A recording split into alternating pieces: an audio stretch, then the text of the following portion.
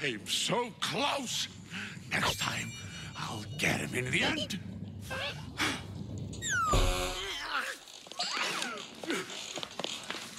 Hi, everybody! wow, that was such a super adventure. Sproutlets, are you ready to get up and get moving this morning? Great! Coming up next on the Super Sproutlets Show, Sportacus is going to show us some of his super moves. Muscle, muscle